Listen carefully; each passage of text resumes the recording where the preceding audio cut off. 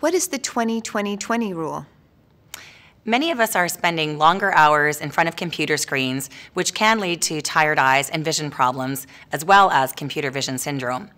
Throughout the day, you should give your eyes a break by forcing them to focus on something other than your computer screen. A good rule of thumb is to follow the 20-20-20 rule, which means every 20 minutes, focus your eyes on an object that is 20 feet away for 20 seconds.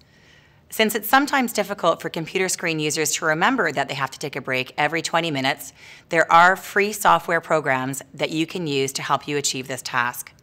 This simple rule will give your eyes a much needed break and reduces eye strain and other computer related eye stress.